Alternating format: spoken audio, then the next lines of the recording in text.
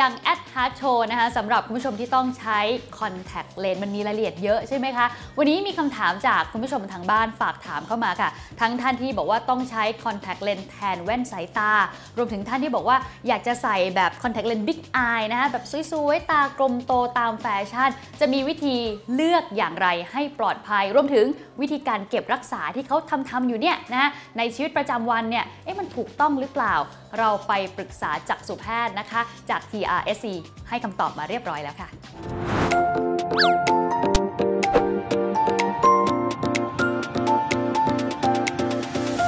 contact lens หรือว่าเลนส์สัมผัสนะคะเป็นวัสดุทางการแพทย์อย่างหนึ่งนะคะ ที่เราใช้เพื่ออแก้ไขสายตาสั้นยาวเอียง โดยที่เลนส์นี้เนี่ยจะวางสัมผัสบนผิวกระจกตานะคะ นอกจากนี้ยังมีใช้เพื่อความสวยงาม เช่น contact lens สี หรือว่า contact lens big eye ซึ่งใส่แล้วจะทำให้ดูตากลมโตขึ้นนะคะ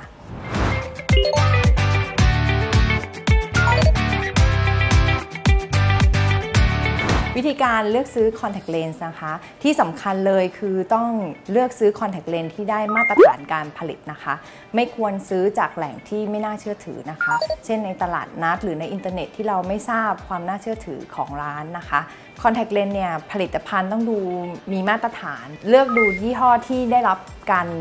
ยอมรับนะคะในสากลนะคะ แล้วก็มีเลขที่ใบอนุญาตชัดเจนนะคะคอนแทคเลนส์ก็จะมีวันหมดอายุด้วยนะคะ ถ้าคอนแทคเลนส์หมดอายุแล้วก็ไม่ควรนำมาใช้นะคะ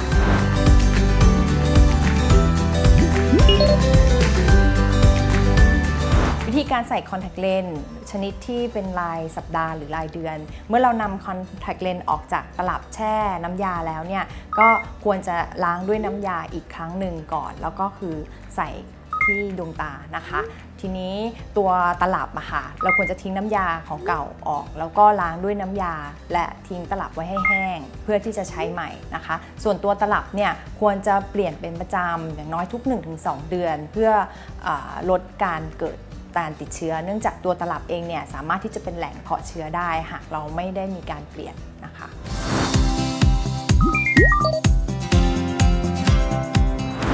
เลยก็คือว่าใส่ contact lens เฉพาะเท่าที่จำเป็นนะคะ ใส่ให้ระยะเวลาน้อยที่สุดเมื่อกลับถึงบ้านแล้วก็ให้เปลี่ยนเป็นแว่นสายตานะคะ แต่ถ้าใส่ติดต่อกันเนี่ยก็จริง ๆ ไม่ควรจะเกิน 8 ชั่วโมงต่อวันนะคะ ห้ามใส่ลงเล่นน้ำค่ะ หรือไม่ควรใส่นอนนะคะ เพราะว่าการใส่ลงเล่นน้ำหรือใส่นอนเนี่ยอาจจะทำให้เกิดกระจกตาติดเชื้อได้ค่ะ ไม่ควรใช้น้ำประปาหรือว่าน้ำเกลือในการล้างหรือว่าแช่ contact lens นะคะ เนื่องจากว่าในน้ำยาที่ล้าง contact lens เนี่ยโดยเฉพาะเนี่ยจะมีสารต้านพวกการสะสมเชื้อโรคของแบคทีเรีย เชื้อราหรือว่าแคนทามิบาค่ะ ซึ่งการใช้น้ำประปา หรือว่าน้ำเกลือในการแช่ contact lens เนี่ยจะทำให้เพิ่มความเสี่ยงของการติดเชื้อได้ค่ะ หากใส่คอนแทคเลนส์แล้วมีภาวะตาแดง ตามัว หรือมีขี้ตามากเนี่ยควรจะพบจักษุแพทย์นะคะ แล้วก็ควรจะหยุดใส่คอนแทคเลนส์นะคะ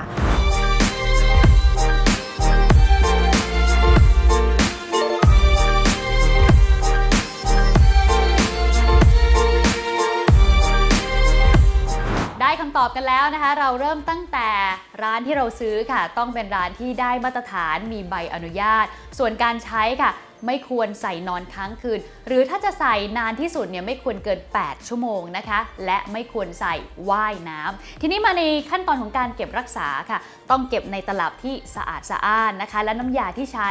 ต้องเป็นน้ำยาที่มีไว้สำหรับคอนแทคเลนส์เท่านั้น และถ้าหากว่ามีอาการผิดปกติขึ้นกับดวงตา เครื่องแซบอะไรต่างๆ หยุดใช้เลยค่ะ และรีบไปหาคุณหมอให้ไวที่สุดนะคะเอาละค่ะ ได้ข้อมูลแล้วอย่าลืมปฏิบัติกันด้วยนะคะส่วนผู้ชมท่านไหนมีคำถามอื่นๆ ฝากคำถามกันได้ค่ะที่ Facebook Fanpage ของรายการเราอย่าง at Hard Show ส่วนตอนนี้แอนลาไปแล้ว สวัสดีค่ะ